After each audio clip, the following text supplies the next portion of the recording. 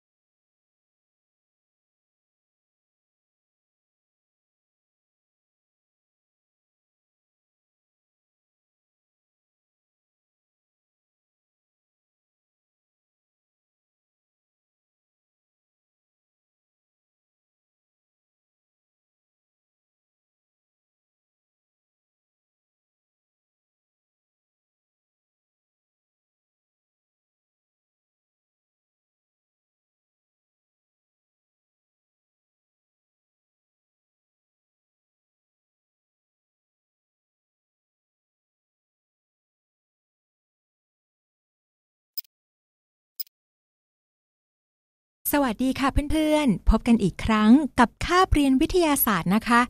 หลังจากที่เราเรียนเกี่ยวกับการขยายพันธุ์พืชกันมาหลายคาบแล้ว ไม่ว่าจะเป็นการขยายพันธุ์พืช แบบอาศัยเพศหรือไม่อาศัยเพศ และการเพิ่มผลผลิตพืช ด้วยเทคโนโลยีชีวภาพสำหรับวันนี้เราจะมาเรียนเรื่องการตอบสนองของพืช ต่อสิ่งเร้า ว่าแต่จะเป็นอะไรนั้น ไว้ไปหาคำตอบพร้อมกันเลยค่ะ เพื่อนๆคงเคยได้ยินคำว่า การตอบสนองต่อสิ่งเร้าของพืชกันมาบ้างแล้ว เรามาทบทวนความจำกันอีกครั้งนะคะ ว่าการตอบสนองต่อสิ่งเร้าของพืช หมายถึงอะไร การตอบสนองต่อสิ่งเร้าของพืช คือการที่พืชมีการปรับตัวให้เข้ากับสิ่งแวดล้อมต่างๆ เพื่อให้พืชสามารถดำรงชีวิตอยู่ได้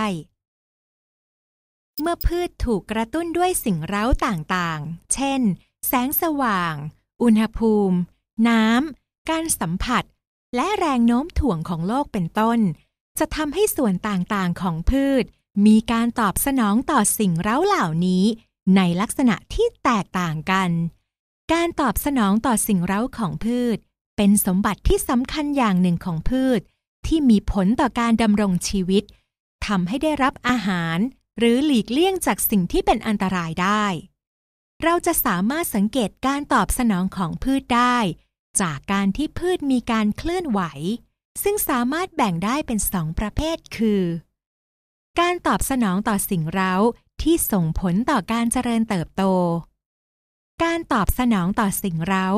ส่งผลให้เกิดการเปลี่ยนแปลงปริมาณน้ำในเซลล์ ตอนนี้เพื่อนๆพร้อมที่จะศึกษาลักษณะการตอบสนองของพืชแต่ละหัวข้อหรือยังคะ ถ้าพร้อมแล้ว ไปกันเลยค่ะ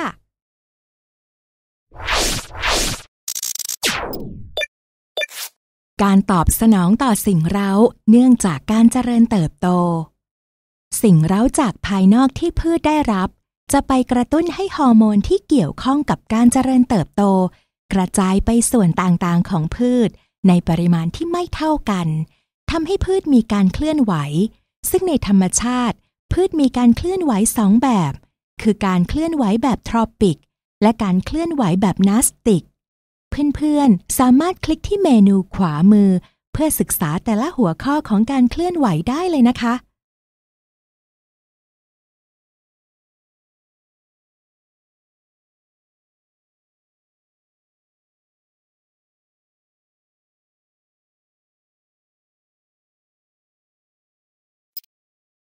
ตอนนี้ได้เวลาที่เพื่อนๆ ต้องมาฟังความรู้จากพี่ยูเรนัสกันแล้วล่ะค่ะ เพื่อนๆ พร้อมหรือยังคะ ถ้าพร้อมแล้ว เราไปพบกับพี่ยูเรนัสกันเลยค่ะ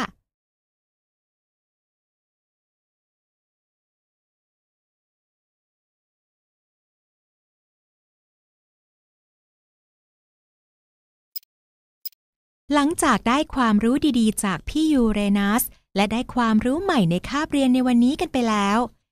สำหรับตอนนี้ก็ได้เวลาที่เพื่อนๆ จะมาสนุกกับการทำกิจกรรมแล้วค่ะ เพื่อนๆ พร้อมหรือยังคะ ถ้าพร้อมแล้ว ไปทำกิจกรรมกันเลยค่ะ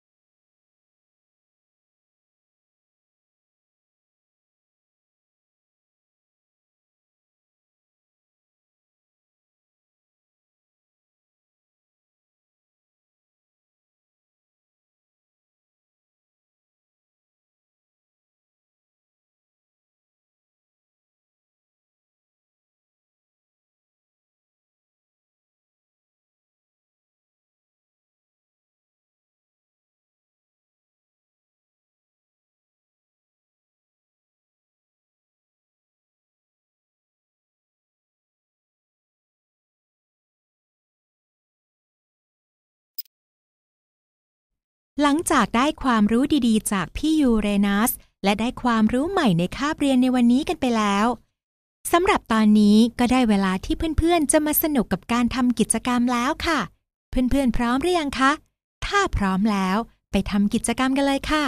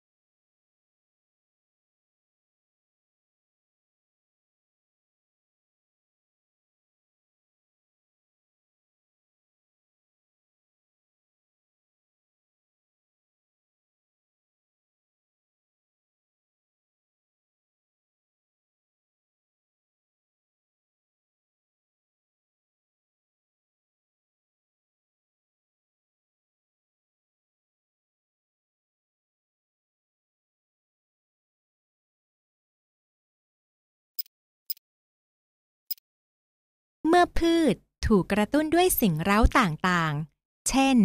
แสงสว่าง อุณหภูมิ น้ำ การสัมผัส และแรงโน้มถ่วงของโลกเป็นต้น จะทำให้ส่วนต่างๆของพืช มีการตอบสนองต่อสิ่งเร้าเหล่านี้ ในลักษณะที่แตกต่างกัน ดังนั้น การตอบสนองต่อสิ่งเร้าของพืช เป็นสมบัติที่สำคัญอย่างหนึ่งของพืชที่มีผลต่อการดำรงชีวิต ทำให้ได้รับอาหาร หรือหลีกเลี่ยงจากสิ่งที่เป็นอันตรายได้ เป็นอย่างไรบ้างคะน้องๆ วันนี้ได้ทั้งความรู้และความสนุกเลยใช่ไหมคะ